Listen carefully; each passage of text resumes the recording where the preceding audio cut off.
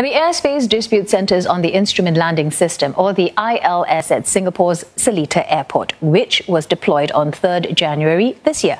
But Malaysia claims this intrudes its airspace over Pasir Gudang. So, what is the ILS?